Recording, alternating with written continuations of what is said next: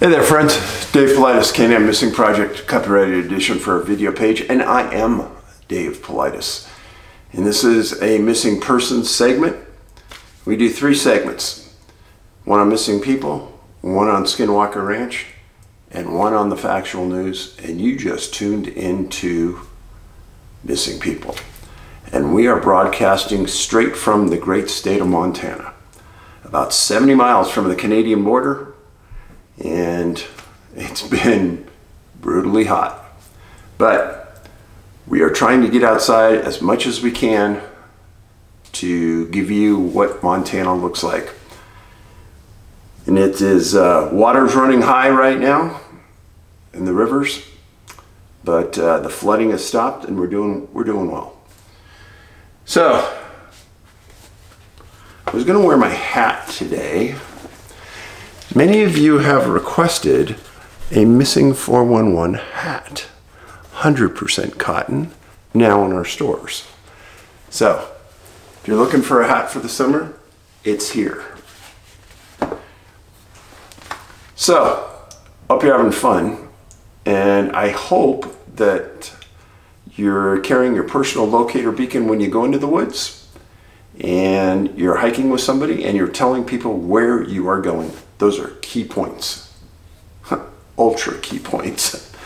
And kind of the, uh, the hallmark of our research.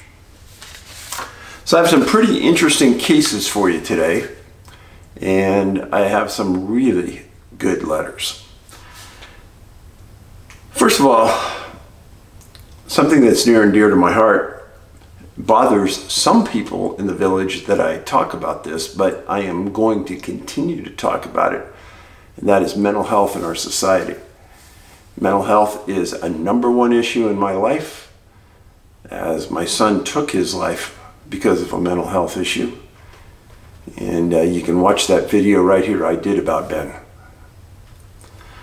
Now, CBS News had an article March 10th, 2011 and I know some of you will say, oh, that's old news days, but I doubt you've heard of this one. It says bipolar rates higher in the USA.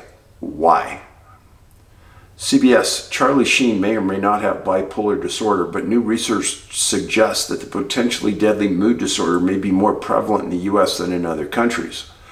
A survey of 61,000 people in 11 countries showed that 4.4% of Americans have the disorder. 4.4%. That the potentially deadly mood disorder may be more prevalent in the US, which is characterized by shifts in mood from deep sadness to an almost euphoric state called mania. What about other countries? India has the lowest rate of bipolar disorder at 0.1% of the population. Other countries cited in the survey include Colombia, 2.6%, Japan, 0.7% worldwide. 2.4% of the population is bipolar across the world, according to a survey, which was published in the March issue of Archives of General Psychiatry. So, let's think about this. If 4.4% of the population in the US has bipolarism, do you think maybe we should have more facilities and more doctors to address this?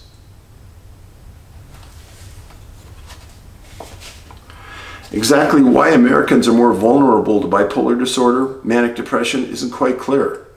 Wealth may be one factor, researchers say. In general, bipolar was shown to be more prevalent in high income nations, with Japan the lone exception.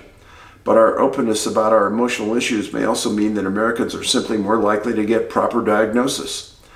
Cultural awareness plays a big role in psychiatry. Dr. Sarah Bodner, assistant professor of psychiatry at the University of Miami School of Medicine, told CNN some cultures have a high and huge reluctance to speak up about psychiatric things. I believe that. Whatever the reason, it's clear that bipolar takes a big toll on American health. Without appropriate treatment, often antidepressant medication in conjunction with counseling, the shifting moods and energy levels, distractibility, restlessness, disturbed sleep, and other hallmarks of the illness can affect relationships, job performance, even ability to carry out day to day tasks. And Bipolar individuals have the highest rate of suicide of any mental health condition. That is my concern. We were told this early on with Ben. Now, the shifts from depression to mania are mind blowing. If you've been a parent, you've been a brother or sister, and you've seen this happen, you understand. And what's happened is, is sometimes the relatives of the bipolar people take and are targets of verbal attacks by people who are bipolar. It's absolutely a brutal thing to go for, go through. Brutal. Until I understand it, I internalized much of it that it must have been my fault. But then I understood why it was happening and the paradigm shifted totally. Folks, I'm not going to get on a platform and, and scream from the hills, but I am going to say that we need more mental health treatment centers. We need a thousand times more than what we have today. And until we are willing to address this as a nation, we're going to have issues of homelessness, violence, and other items associated with being bipolar. It's a horrendous condition. And I feel very, very sorry for young parents right now who have no clue that their son or daughter may be bipolar and have no clue what to do as they get older. It devastated our family.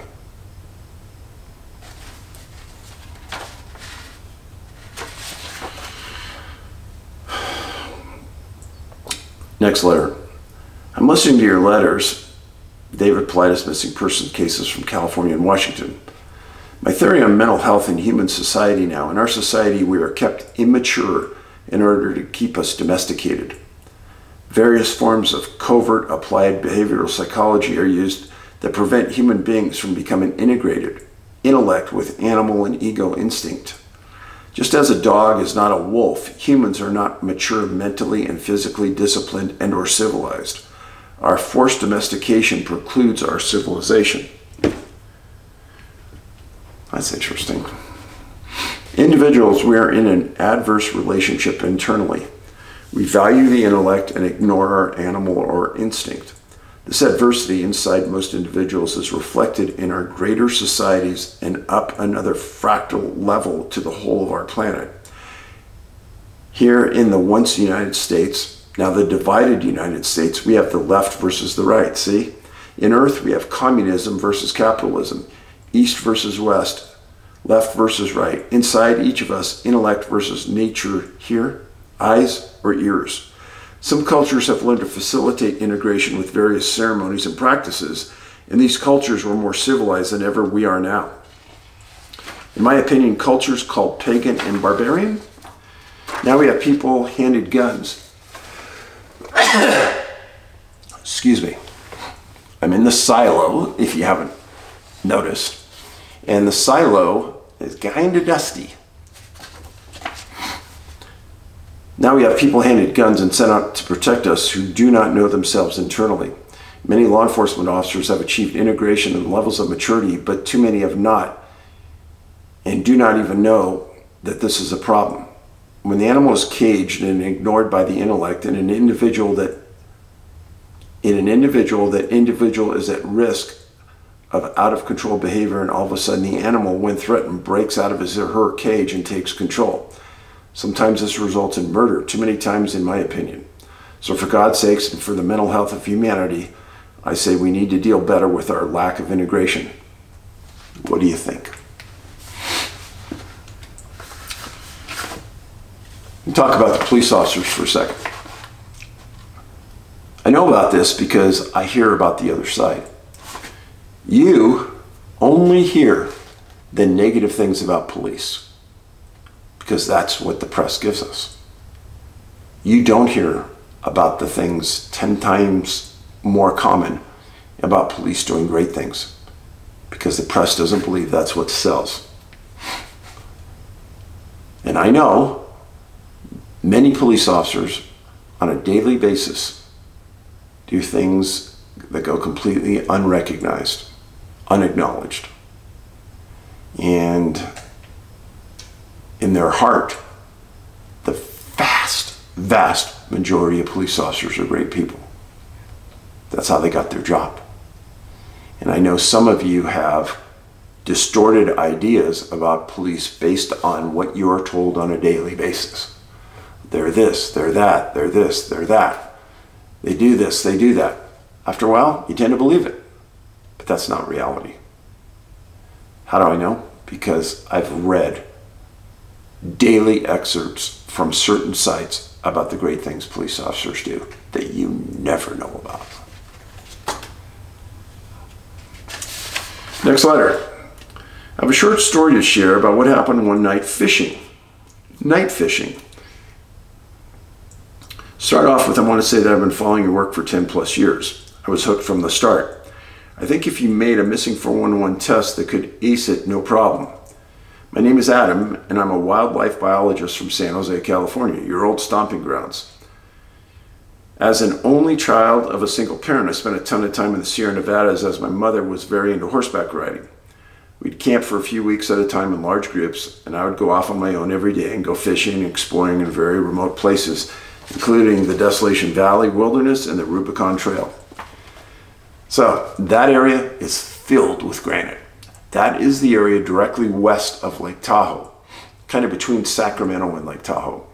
Gorgeous region. I can't say enough great things about it. With all that being said, uh, I feel very fortunate to have not gone missing or had any strange experiences during that time in my life. I'm writing you because I would like to tell you about in the village about a very strange experience I had in 2016 on the full moon of July at Lake Berryessa. now, Lake Berryessa, interesting place. First of all, the Zodiac Killer killed somebody right near the shores of Lake Berryessa. The, um, the lake has some really remote areas. it's sort of in the Central Valley area. Um, between the Bay Area and Sacramento and a little bit north. It's a, it's a nice lake. It's big. A buddy of mine from college was in a bass fishing club that was having a night tournament at Berryessa, and my buddy didn't have a, a boat, but I did. He invited me as a guest so we could fish together. The tournament was 14 hours long and ran from 6 p.m. to 8 a.m. Everything started out totally normal. The fish were biting, and I was having a blast catching smallmouth bass on a homemade topwater fishing lure. We fished hard through dusk and finally took a breath at around 10 p.m. after it was 100% dark. I bleached my boat to I beached my boat to eat dinner and called my then fiance, now wife, to check in. This is when everything started to get weird. As I was talking to her, I noticed a flashlight in the distance on the shore heading right towards us. This is strange because we were on a pretty remote part of the lake. Someone would have to walk miles to get there as there are no roads in this area. I kept my eye on it as I was talking to my fiance and it slowly got closer. As it drew nearer, I told her, I gotta go. There is someone with a flashlight coming our way. I hung up the phone and about 15 seconds later, the white light that was coming towards us just kind of zoomed off into the trees. Needless to say, we were a little tripped out, but no harm, no foul. We finished our food and continued fishing. We're probably about two miles from where we saw the first light, and it, now I'm guessing was 1 a.m. We we're in a small cove, and out of nowhere, this now green softball sized light comes out of the woods and starts slowly cruising around the tree line and shore, approximately 75 to 100 yards away. I look at my buddy and I said, Are you seeing this? And he responds, Yes. We watch this orb for a few minutes. We start deducing the possibilities. Maybe it's a drone, we said. The only problem with that theory is that it was absolutely dead silent. Some of my friends and drones, I had worked with drones by this time and knew that it wasn't a possibility. The green orb would slowly float around in a very flowing manner that I can only compare to a butterfly, bat, or something. It did not move in straight lines and made no sharp turns, and it never stopped. It would fly at ground level and maybe up to 20 feet in the air. As it would cruise through the trees, it would illuminate everything around it, and as it came out of the trees again, it would just be a glowing ball of light. It seemed to me to be very erratic and not really have any rhyme or reason for what it was doing. It just seemed to be aimlessly flying around about a 200 yard area. It never flew over the water, which I find interesting. If it had, I would have not been as comfortable around it. We were now starting to trip out, and I decided to try to take pictures and video on my cell phone. Well, the cameras on the phones at this time were not very good at taking low light pictures, and when I took the pictures, it was just black with a tiny dot.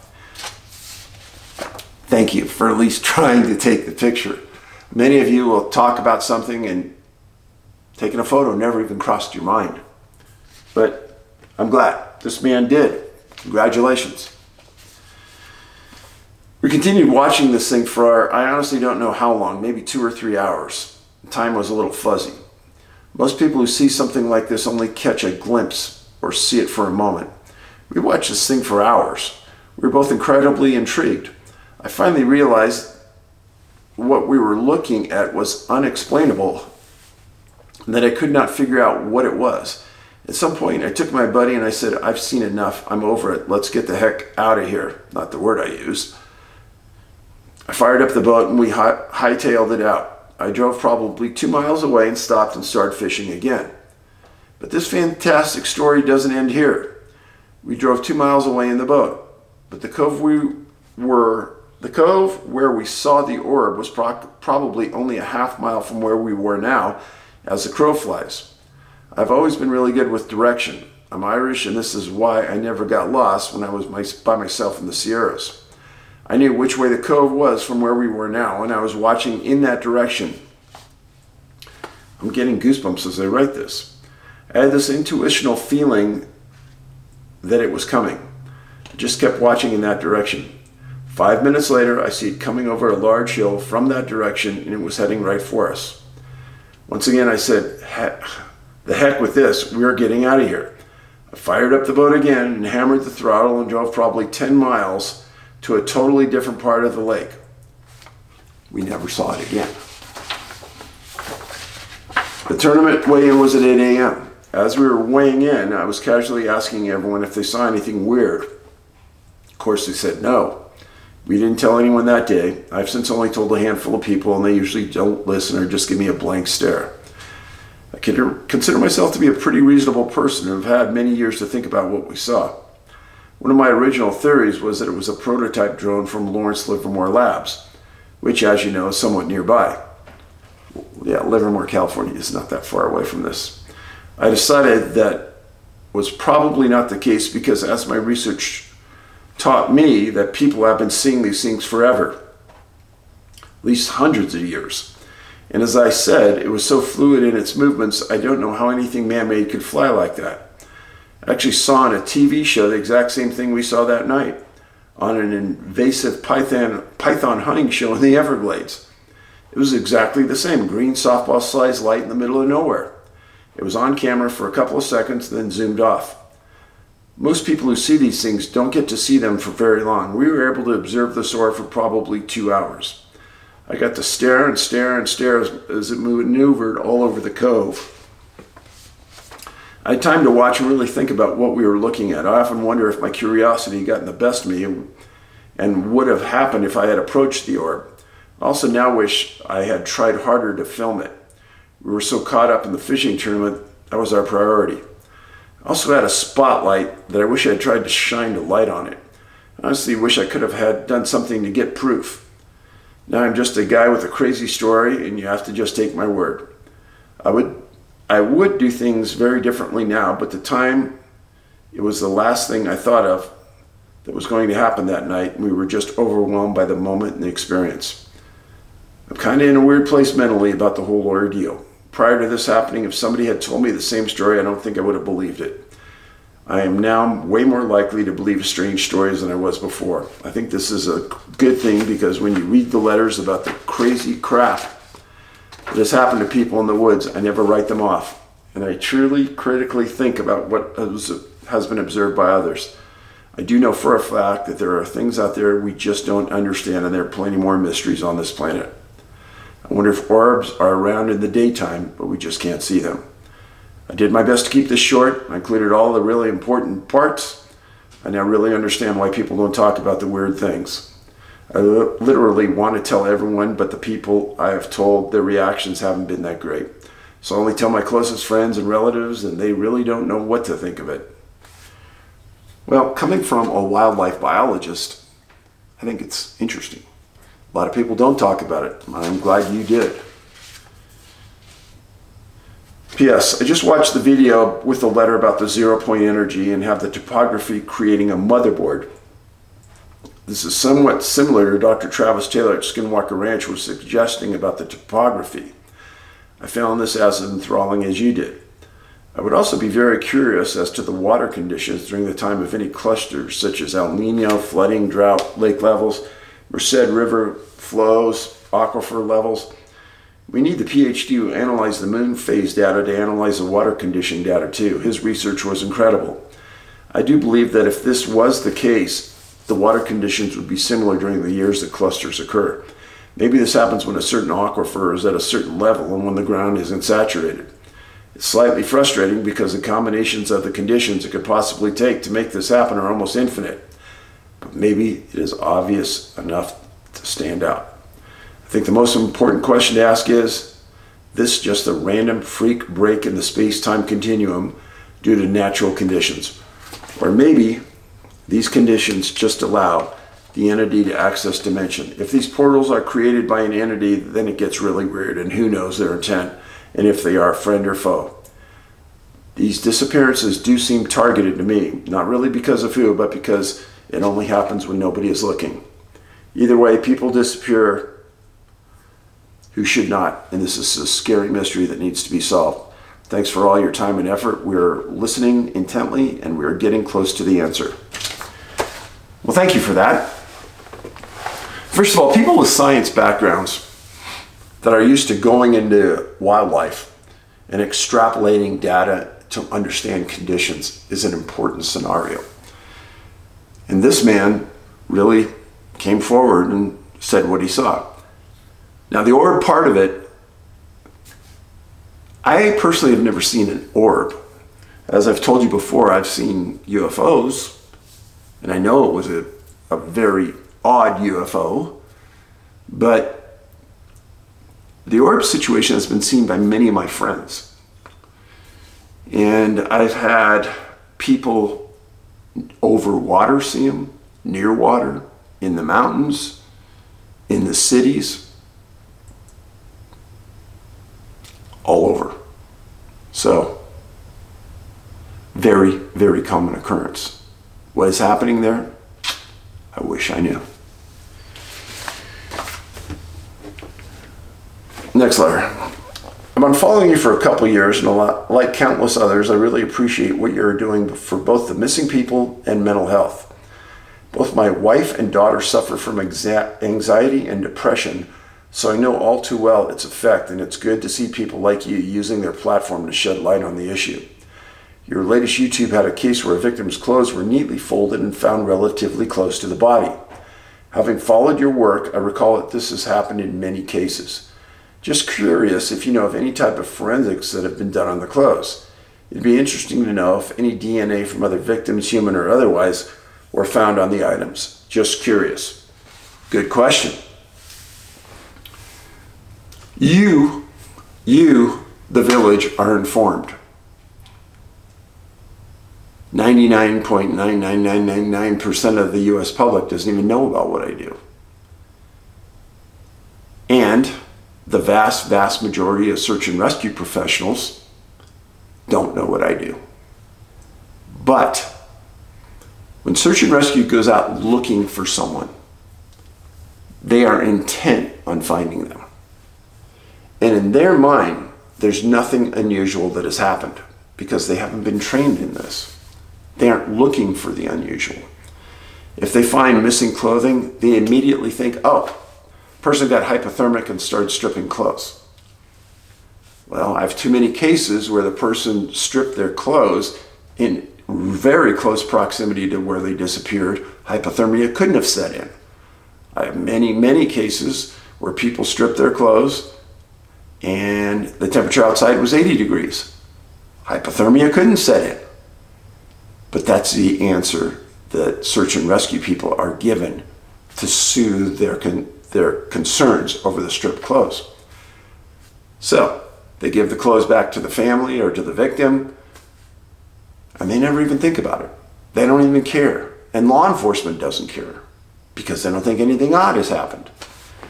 This research has to reach a whole different level for people to understand the importance of what you just asked. And it is important to understand. I'd be interested in knowing did, were the clothes sterilized? Was there anything on the clothes? Did the victim fold the clothes? Who did fold the clothes and why? Next letter. Dear Dave, so good to see glimmers of joy in your life and with your family, new family member Huck, after going through the loss of Ben. May you and Angie have a gracious life with your new family member by your side. Huck, our Great Pyrenees dog.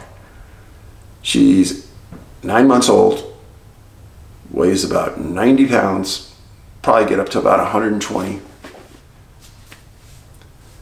Changed the whole dynamic of our life. And lots of joy. Very, very lovable, lovable dog. And ferocious at times when she feels we or she is threatened. And uh, I learned a lot from being around her. And uh, I'm grateful. I have gratitude for that dog. These marvelous, innocent souls, the dogs, are God's priceless gifts to this earth, in my opinion. On another note, something I haven't thought about in decades came to me a few months back. During my junior year of high school in the late 80s, a hypnotist was invited to entertain and perform for students in our school theater. I recall him speaking with approximately 200 or so of the students as he performed a series of mental exercises that he walked us all through. I remember wanting very much to be hypnotized and following his direction carefully. He explained that some of the group would be coming on stage and that some may not. I sat in my seat in awe of how at least 30% of the students in the theater went up on stage and followed his suggestions of the most peculiar nature. They were all acting in the most embarrassing ways, which surely no one should under normal circumstances. When the exercise was over, none of the hypnotized students could recall their antics on stage. I remember wondering what it was all about, and some of the others made it possible for us to be hypnotized, yet others so easily influenced. I was completely openly hypnotized. I was completely openly hypnosis it couldn't be put under. A lot of people can't be put under hypnosis, many. It seems there's an obvious power over the mind that enables some type of entity to control and manipulate victims of disappearances and abductions. Some sort of link that can be turned on and off in the subconscious or unconscious. I've read that dark entities don't have a soul and never incarnate or evolve to a higher spiritual plane and possibly eternally bound to earth. No way to know for sure, I suppose. Do you believe in reincarnation, Dave? Until one reaches a certain point of spiritual evolvement, do you mind me asking if Ben was of the belief in reincarnation with the Krishna? I hope it's not an overstep, but I've thought about spiritual evolution, one we are done with in this life. Constantly curious, best wishes. So I've been around many, many hundreds of Krishna people. And reincarnation is part of that that runs through the gamut. And if you reach that higher spiritual plane, they believe that you will come back as another human. If you never reach that higher plane, then you come back as a lower entity, say a bird, a mammal, or something It's an interesting dynamic. And to think that when our life is over here, that our soul is done and we go to heaven, but we never come back to earth. It's a tough pill for many to swallow. The idea that souls are used again and again to come back as other entities, again, mammals, birds, insects. And there are many believe that every living thing on earth has a soul. There are others who believe only the higher level mammals have souls. I think that's something that you have to do your research on and come to your own belief systems. Now, we have three really, really good cases for you today. And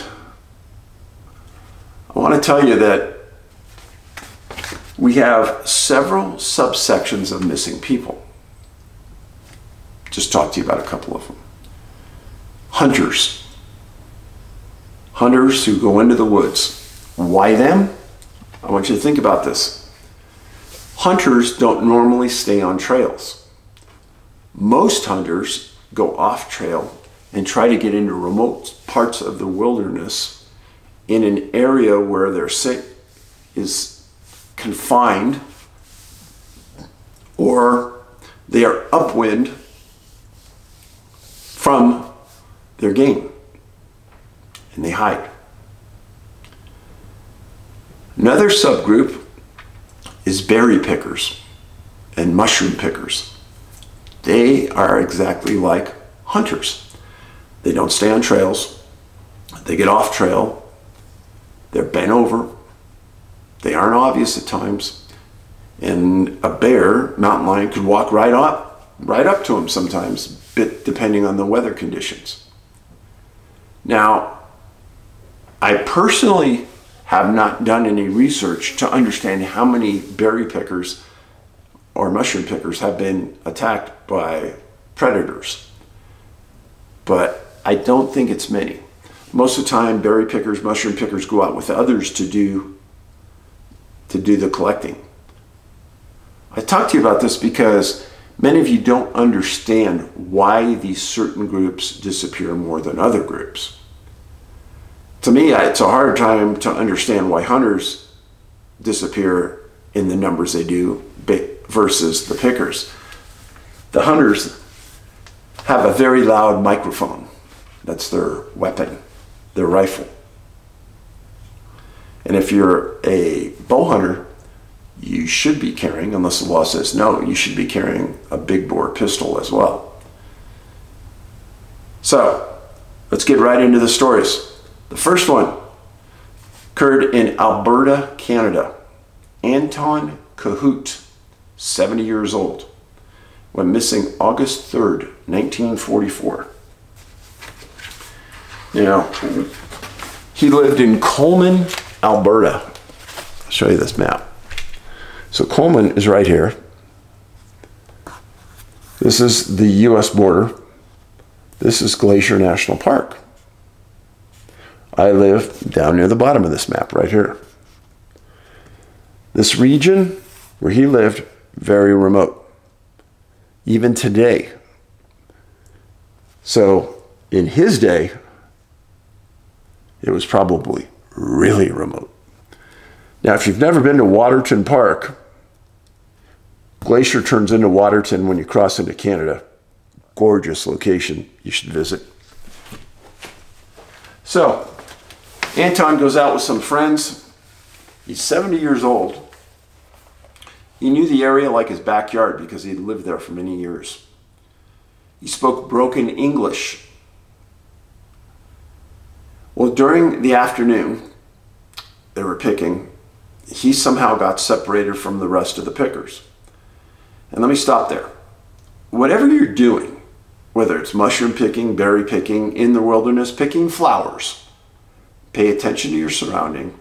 Don't keep your head down all the time. And know where your friends are. When Angie and I go out berry picking, oftentimes we're talking to each other as we're picking, kind of keeping each other in audio distance closeness just so we know where we are. And uh, that is important. Well, when Anton disappeared, his friends searched through the late afternoon and the evening. They couldn't locate him. And they called the RCMP. Well, the most famous dog, this is a quote from the RCMP in the articles that I reviewed. The most famous dog in the RCMP in that region responded from Taber. And that was on August 8th, five days after he disappeared. The dog found nothing, couldn't even pick up a scent. Well, at that time, his wife told friends that at certain times, Anton would have memory lapses. Okay. 70 years old, probably everybody at that age has a memory lapse every once in a while, but that didn't mean he had dementia or he had Alzheimer's. He was last seen wearing a long sleeve sweater and dark pants. There was a five day search and rescue, and they found nothing. It was 40 miles from where he disappeared to the US border. I live 70 miles south of that border. Nothing of Anton was ever found. Now, I don't care even if you have a memory lapse. I don't care if you have Alzheimer's. I don't care if you have dementia. That dog should have picked up a scent. Dogs should pick up a scent all the time. Now, being the best dog in that entire region, according to the RCMP, dog should have picked up the scent. He should have been found. It's bizarre. happens too much to count. But in this case, he was a berry picker. We had point of separation between he and the other pickers. He was picking along York Creek water. And canine couldn't pick up a scent. And trackers didn't find any tracks. So where did he go? Another in a long line of berry pickers that has always concerned me. Always. Now, the next two cases, you're going to find some huge associations with this, so pay close attention. First case involves a man named Ed Gross, G R O S S, 46 years old, missing October 4th, 1931. He was a deer hunter. He owned a gas station in Kelso, Washington. I've stayed there before for a Bigfoot conference there. Spoke about missing people at a huge conference, a really good conference. That's the one that I had to cancel this last year because of threats to my life. He was hunting with two friends, Leo Tomani, who was a Kelso, Kelso councilman, and a man named Herbert Coulter, a good friend. Well, they arrived into the woods on Friday, October 2nd, and they kind of hunted together Saturday. Sunday, they went out, October 4th, and they split up and agreed to come back to their camp at dusk.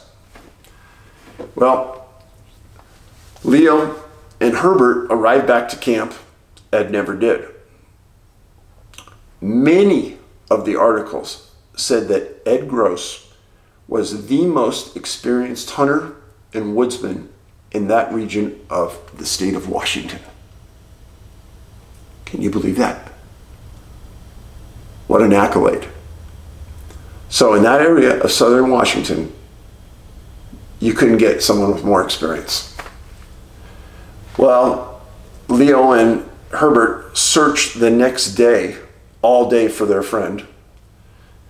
And again, if you understand the mindset, Ed's that experience, Ed's that good of a woodsman, maybe you shouldn't have, maybe you shouldn't pull the trigger on notifying the police or sheriffs right away. He'll come out. It's probably what they thought and why they searched. but they didn't find him, and they called the sheriff on October 6th. On October 7th, 50 searchers were there when they heard about Ed. Now, Ed was a pretty well known guy in that part of Washington because he owned a gas station in Kelso. So when his customers heard about it, they flocked to the area. Well, also on October 7th, when the searchers showed up, that was Ed's 47th birthday.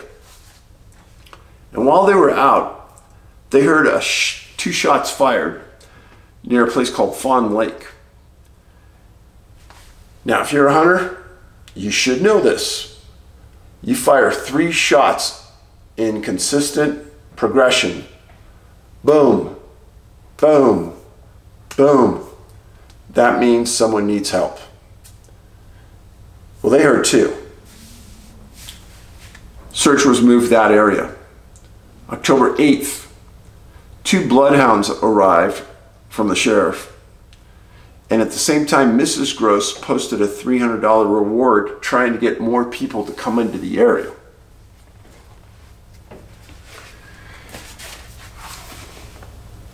Now, the next day, this is weird that I found this, but it said the most famous police dog in Seattle arrived and searched for two days. Ed had one day of food with him. On October 9th, 40 searchers showed up.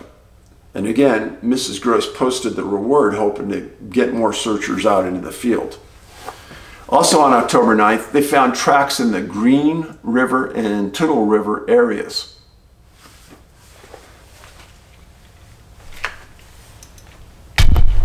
So, first, the Longview Kelso area, down in, down in this area right here.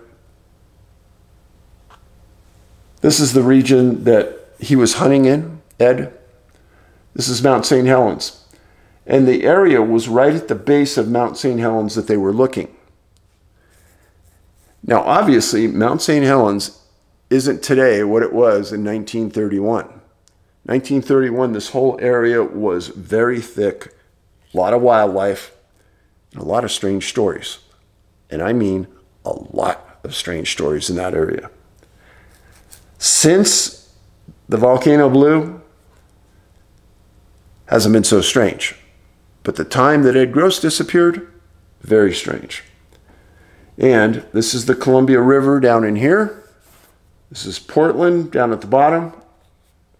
This whole region up through here, high strangeness for a multitude of reasons. When I found Ed's case, it intrigued me for many reasons. First of all, he was hunting around several bodies of water that flowed. Being an outdoorsman, you know you follow that river and you're going to get home eventually. The idea that he was lost with Mount St. Helens staring at him, hard to believe. You have a giant, giant mountain there. You know exactly where you are most of the time. The tracks that were found, they thought they were Ed's, but they lost them quickly. Put canines on them, didn't follow them. Four weeks of searching, one of the longest searches in 1931 for that time era I've ever seen. Ed Gross was never found. Does it surprise me? Uh, I guess in some ways it does because they put forth such an effort and they brought in so many different canines. In another sense, the forest was really, really thick back then and they had a lot of area to cover. He was in good shape for 46 years old. That's how old he was when he disappeared. And he could probably walk a lot of people into the ground based on his condition and his outdoor nature. When I was researching this case, another case immediately came to mind. And it's quite a different case I have written about skiers who have disappeared. This is kind of about that. A man named Joe Carter, this is a very famous case, 32 years old, went missing May 21st, 1950 at 3 p.m. on the side of Mount St. Helens. Again, back in 1950, I guess it wasn't such a big threat to blow, but Mount St. Helens is here, Portland is right here, Longview, Washington is right here. There's a road just north of Longview that I've taken a gorgeous ride, and you can take it right out to Mount St. Helens and see what's left now. It's a very, very impressive sight. But back in 1950, when Joe disappeared, it was a big mountain, and a lot of people would climb it. And it was a pretty easy mountain to ski down. And a lot of people brought their skis, hiked up the mountain, and then skied down. Well, Joe was an expert level skier. He was a member of the National Ski Patrol. For anyone who doesn't know what that means, they're probably the most advanced, trained, and experienced skiers that uh, patrol the mountains and resorts that we ski at. Well, Joe was a member, and he had been a member a, a long time. and when I say he was an expert skier, that doesn't mean that he could ski down the slopes fast and ski through slaloms. When you're a ski patrol member, you also have to be very, very good at taking a toboggan down the hill behind you. That means essentially being in a snowplow down for sometimes a mile or two. You got to be in really good shape. Your legs got to be really strong. Well, Joe Carter was with 20 other people. And they reached the summit of Mount St. Helens and they were getting ready to ski down. Well, Joe was also a photographer. And he told the group that the way they were going down, they were going to go down this sort of glacier and go around this turn. And Joe said he would set up right around the turn and he would photograph the people as they came down. Well, he was a ski patrolman at a place called Milwaukee Bowl back in the 50s, if you want to look it up, see where he did work as a job. Well, Joe went up, skied around the corner, and apparently set up to photograph. When the climbers came, started to ski down around this corner, Joe wasn't there. Where was he? Well, they all stopped because they saw some things in the snow where it appeared Joe had stopped and done something. And it was some of the packaging for film. It appeared that he had taken this film canister out and was loading his camera, put the stuff on the ground for a second, and something happened. Joe wasn't there. But through the snow, they could see his tracks going down the hill.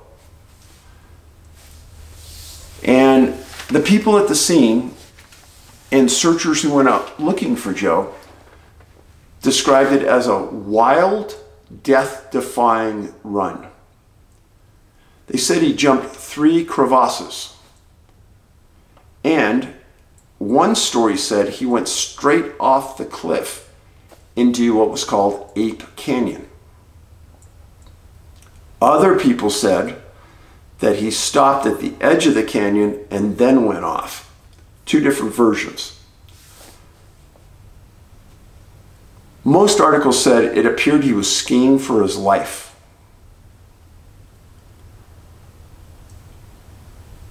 That's right, folks. So, when the searchers got there and they realized that he was down in this canyon, hundreds and hundreds of feet below, they focused their efforts there. And they put dozens of searchers down in the canyon looking for a body. Well, guess what? They didn't find the skis and they never found Joe. They didn't find any tracks on the ground following his ski tracks down the mountain, just his. Now, Joe was a diabetic.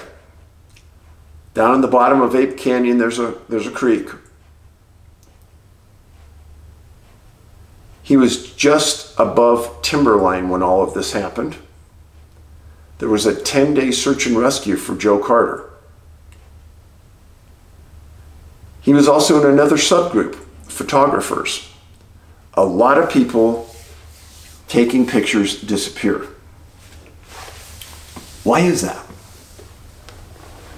Is it because they're focused on their lens and what they're looking through the camera and they're not seeing around them? Well, that's not true because Joe saw something. Maybe the camera was never loaded. I don't know. But from the point where they found his packaging material, again, straight down the mountain, two skis, never slowed down, never stopped. What in the heck could have scared a 32 year old man, expert skier, that much to take his own life going over that cliff? Tell me. Now, Ed Gross was hunting at the bottom of Mount St. Helens. Joe Carter was skiing on the side of Mount St. Helens.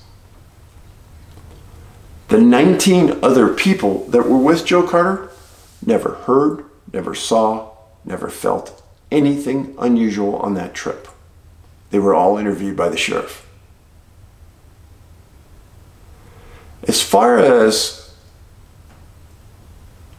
far as the searchers, there was one searcher that was looking for Joe in Ape Canyon that reported being quite uncomfortable and felt he was being watched. That was on one report.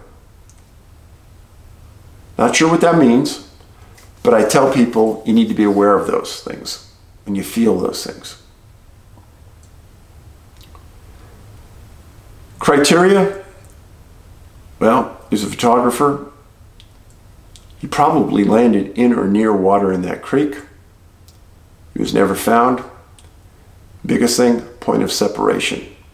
When Joe Carter separated from that group, something happened.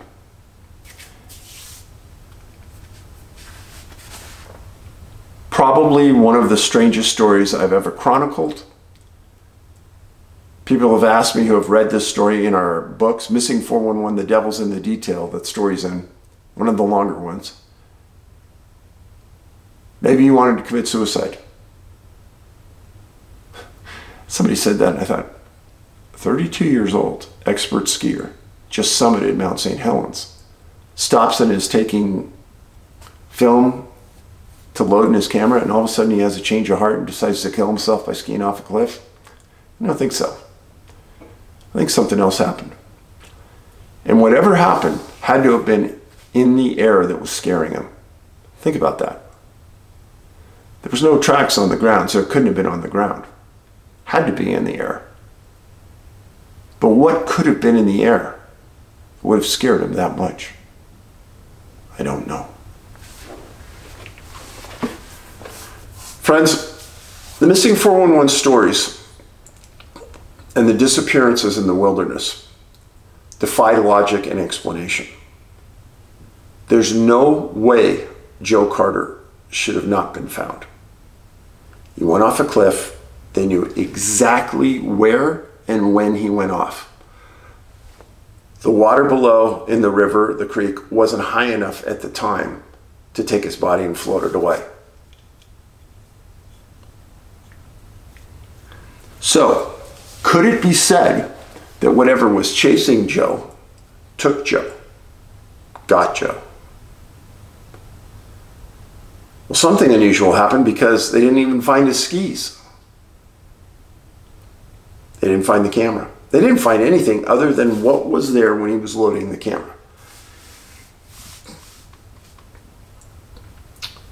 Some of these cases really bother me because I could have been Joe Carter. I've climbed a lot of mountains. I would have gone skiing like he did. Exactly, I would have done that. I would have volunteered to go first and I would have taken the photos. Again, would this have happened if someone else had skied with him to that point? It's a good question. Again, the person was alone. Ed Gross was alone. Point of separation. He walked away from his hunting companions that one day. Anton Kahout. Point of separation. He was alone when berry picking. I've tried to hammer this in over the years to stay together. Don't separate. None of these people, folks, none of them thought this would happen to them that day. I know there's a lot of uh, very uh, masculine men that watch this. They think, ah, it'll never happen to me. I don't think any of the victims I've chronicled think it would, it would have happened to them either. So, thanks for being here. I greatly appreciate it. You can follow me at Truth Social at David Paulides. On Twitter, David Paulides at Can-Am Missing. Our website, the Can-Am, like Canadian American, canammissing.com. And uh, it's about 85 degrees outside. I'm going to go outside right now, do some work, enjoy the weather, enjoy my new hat, and be grateful that I have the village here and we're together as a group to think these through and talk these things through and understand them at a different level. All your ideas are appreciated. You can post something right under this video.